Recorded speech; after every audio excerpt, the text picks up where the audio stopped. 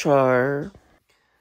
Hi guys, this is Brian. You are watching again my vlog. And for our today's episode, I'll be share with you my bad experience sa isang agency based from Dubai. And I made this video para maging aware kayo na iwasan nyo po ang mag-apply sa migration consultancy na to. So, hindi ko na para ikwento pa yung buong talagang detalye, but I will tell you my experience with this agency. But before anything else, if you haven't yet subscribed and if you are new to my channel, please help me to reach 2,000 subscribers. So, thank you in advance and I hope na nagkakaroon kayo ng mga learnings and ideas sa mga vlogs ko here at YouTube. So, let's start. So, by the way guys, I know naman. So, please don't blame me. so, or siguro dahil uh, medyo alam ko maraming makaka-relate na maraming mga aplikante ang gustong gusto maka-experience uh, at makapag-work sa Europe. Aminin natin yan. And isa na po ako doon sa mga aplikanting nangangarap na makapag-work sa Europe noon, noong nasa Qatar pa ako. So, hindi po ito related sa agency ko papunta ng Croatia guys ha. So, iba po. Ibang, ibang migration consultancy kasi ang na-applyan ko. So, it's the Northway Migration Consultancy. So, ayan yung address nila. Ayan yung Facebook page nila. And, hindi ko na dapat pagagawin. Pero, grabe na kasi yung yung pagkitiis ko do sa usapan namin for refund is wala akong nare-receive na any feedback from them. And nakakalungkot lang na Pinoy yung nakausap ko and alam niyo yun, Pinoy pa yung nanloko sa akin. So, nakakalungkot na nakaka nakaka-disappoint kasi hindi po biro yung binayad ko na 8,400 dirhams. So, parang pumapatak na 125,000 yung na-scam sa akin. Actually, pinagbiya ko sila kasi I applied before. Okay, so para sa mga gusto magtanong, paano ko ba daw nalaman yung Northway? So, yun sabi ko nga, di ba, before, na nangangarap ako na makapagtrabaho noon sa Europe, nung nasa Qatar pa ako. So, siguro, ito yung isa sa pinaka-lesson na natutunan ko. Huwag kayo magpapaloko sa number ng likes nila sa Facebook and sa mga matatamis na salita ng, lalo na kapag kabayan yung kausap nyo, wag na wag. Kasi doon ako nadali. Siguro dahil frustrated na ako and gusto kong mamadali. Gusto, gusto ko na kagad makapag-work. So, nag-apply ako sa kanila ng work permit. Supposed to be bound for Poland. And then, ang nangyari noon, may nakontak ako sa kanila na Pinoy, si Ruby hindi ko sure kung yun yung real name niya. Pero, ang galing talaga. Ang galing niya mag-sales talk. As in, hindi na, ewan ko ba bakit hindi ko tinanong kung may proof ba sila ng mga napaalis nila. As in, nag-base ako doon sa Facebook accounts na akala ko pag maraming followers or maraming mga reactors is legit. So, wag kayo magpapaloko doon kasi nga, again, doon ako nadali. So, ayun na nga. Nag-apply ako noong September 2021. Nasa Qatar na ako noon. So, to make the story short, nadala ako sa mga matatamis na salita, sa mga pangako ni Miss Ruby sa akin na within 6 6 to 8 months ay makaka, magkakaroon ako ng working permit bound for Poland. So, dumating yung 2022, 8 months na nakakalipas. Dumating na yung 1 year, wala akong na-receive na any working permit Although, meron pala ako na-receive last May siguro noon. September, January, February, September, October, November, December, January, February, March, April, May. So, 8 months after, naka-receive ako ng email from Jevoy at a case processing manager yon. Actually, dalawang case processing manager, si Darin, yung una kong nakakausap, kasi siya daw yung case manager na hawak ng application ko. Ngayon, ang alibay nila is wala na daw si Darin. Hindi ko alam kung saan siya nagpunta or hindi ko alam kung nagtatago na ba. So, naka-receive ako ng email from Jevoy. Ito yung email, ayan. Na meron na akong working permit. So, after this, kasi sa spam pumasok yung email, nag-apply ako sa kanila. Parang ang gusto lang ni Jevoy is mag-confirm ako do kung ako ba talaga yung tao na yon. Parang isend back ko sa kanila yung receipt na binigay sa akin ni Northway para ma-proof na ako talaga yung kausap. So, pagkakaalam ko noon, may thread naman kami, may conversation naman kami ni Darin. So, bakit pa kailangan? Pero anyway, so yun na nga, nag-reply ako sa kanila na, okay, this is to confirm, this is my receipt, ganun, sabi ko ganun.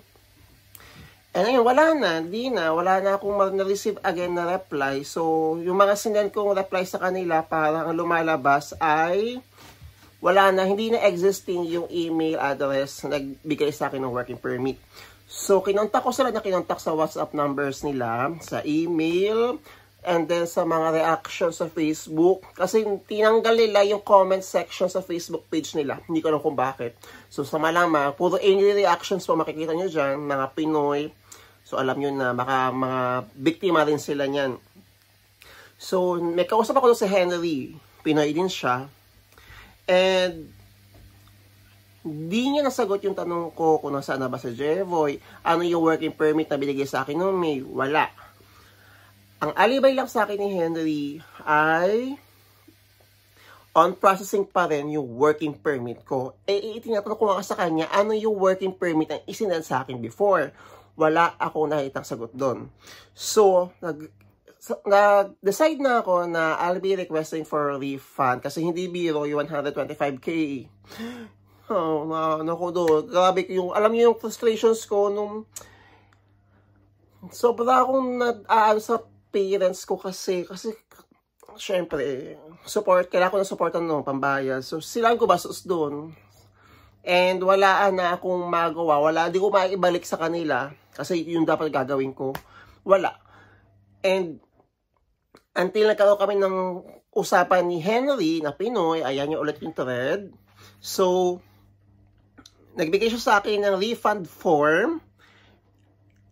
Tapos yung duration bago ma-refund ay aabot ng 4 months. So, nag-request ako ng November last year. So, imagine, After one year sa Qatar, nakapag-Croatia na ako, wala akong nahihitang sagot sa kanila. So, four months na nakakalipas, nag-email ako sa kanila, wala pa rin silang reply. Sinabi ko talaga sa kanila, gagawa ko kayo ng content. I don't know if tako sila or what, or siguro kahit hindi naman ganun kalaki yung views ng mga vlogs ko, gagawin ko pa rin kasi ayoko na na marami pang silang mabiktima And I know, hindi lang Pinoy ang nabibiktima nila. Napakaraming ibang lahi nag-message sa akin. Kasi nakikita nila yung mga reactions namin, mga reaction ko sa Facebook pages nila na puro angry reacts.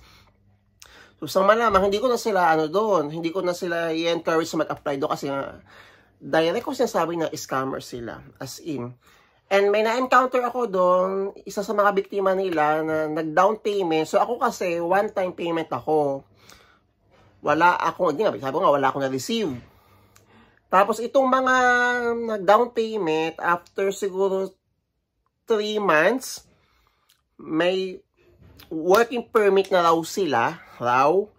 Pero kailangan muna nilang bayaran yung remaining balance bago i-release yung working permit. So, hindi ko na alam yung balita kung nakakuha ba sila, pero alam ko wala. Wala pa rin sila nakukuha after nila magbayad ng buo.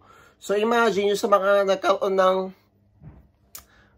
na down payment, naka-receive sila ng working permit, parang they have just to pay the remaining balance. Unlike sa akin na nag full-time payment ako, dumating yung mag 2 years na wala, wala, wala sila na ibigay sa akin ng working permit, wala akong mga documents. Tataka nga ako, bakit pa, ano pa, para saan pa yung mga processing ng mga documents? Eh lahat na wala naman silang ibigay sa akin ng mga documents. And yung mga documents na ibinigay ni, na nire-request nila is sa kanila naman talaga dapat magagaling. So, ayun, huwag kayo mag-apply sa North Immigration Consultancy guys. Alam kong hindi ko nila lahat yung mga migration consultancy sa Dubai. Pero totoo na ang daming mga mga ano ba tamang word? Ayoko sabihin scammers. Ayoko, ang daming mga hindi magagandang ugaling tao. Elaborate ko na lang. Especially mga kabayan pa yung manloloko sa iyo sa Dubai. Hindi ko alam kung bakit, pero sabi sa akin ng pinsan ko, sentro daw talaga ng mga scammers ang migration consultancy sa Dubai. And ini dati, ano pa ako, hinahamon pa ako nung ni Ruby na i-check ko daw yung mga license nila sa ganito ganyan sa Dubai. Diyos ko, alam ko lang, sana. Again, huwag kayong magpapaloko guys sa number ng followers sila sa Facebook. And, ipaglalaban ko talaga, hindi ko susukuan tong refund ko. Kailangan nila maibigay sa akin ng refund ko. Sabi ko talaga, sabi ko talaga kahit 80% lang maibigay yung sa akin, tatanggapin ko na yun. Eh, wala pa rin talaga. So, I know na hindi naman sila tinetan sa akin. Alam ko na, pero alam ko na hindi lang ako. Alam ko napakadaming Pilipino.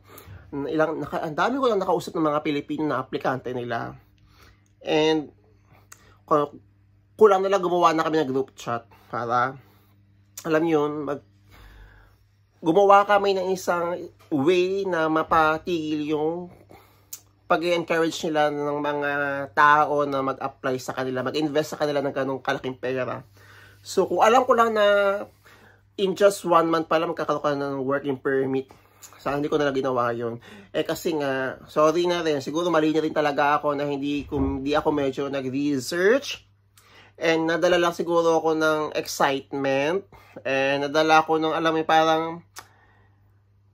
hindi ko na matiis na gusto ko na kagad makapag-work ng Europe noon.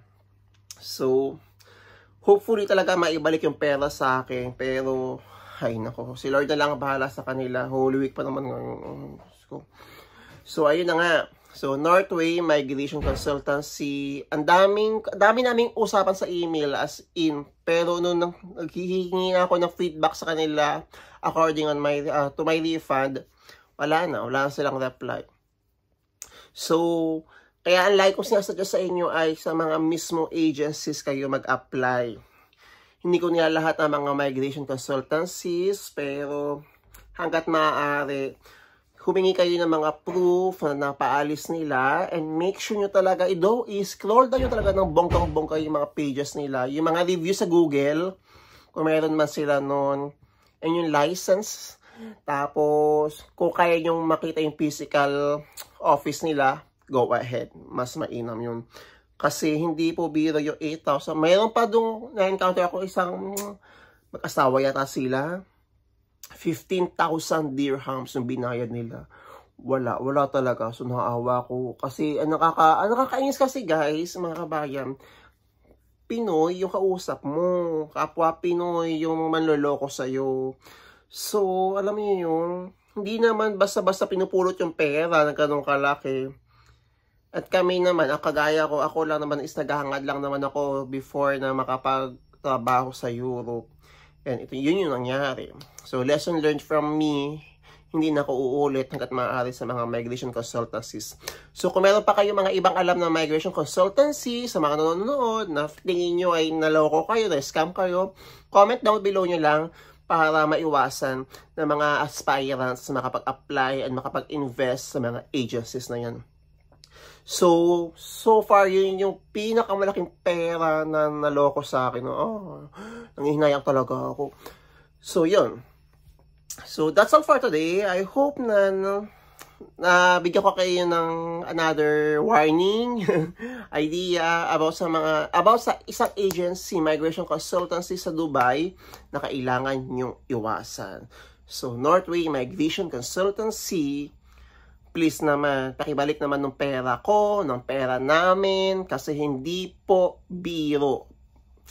Alam nyo yan, nag-abroad kayo, alam nyo kung gaano kahirap kumita ng pera sa abroad para lang may, may bayad, kasi naghahangad yung mga kabayan na katulad ko na magkaroon ng mas magandang opportunity, magkaroon ng mas magandang, mas malaking income sa Europe. Ayan, please pakibalik naman, ay pakisagot naman ng mga emails. Ayan, pakicheck-check naman po kay Darin, kay Ruby, kay Henry. Ayan. Ay, nakakaloka kayo, nakaka-disappoint kayo mga kabayan. Isipin nyo na lang na digital yung, ayoko namang idamay yung mga relatives or what, pero maniwala kayo sa karma guys. Totoo ang karma. Ha? So, hopefully, after this, wa, sana makaabot sa to or i-email ko talaga sa inyo yung link. Na, oh, ito, panoorin nyo. so, I hope na mag-reply kayo sa mga sa email ko. Kasi wala na akong mahita. Wala nang nag-reply sa, wala silang comment box sa Facebook. Hindi nag-reply sa email. Hindi nag-reply sa WhatsApp. So ano pa? Paano, paano ako makakapag-follow up sa inyo? Wala. So, ayun, good luck na lang and I hope na meron pang natitirang konsensya sa inyo. And refund, refund, refund. Kailangan ko ng refund. Kailangan namin ng mga refund. Hindi lang Pinoy, may mga Indians, may mga Arabo rin kayo na naloko, nakakaloka kayo. So, yun lang. And sa mga kabayan, again ha, iwasan. And kung meron pa kayong mga ibang alam na migration consultancy, comment nyo lang para maiwasan ng mga kabayan na mag-apply dyan. So, thank you for watching and I will see you on my next vlog. Ciao!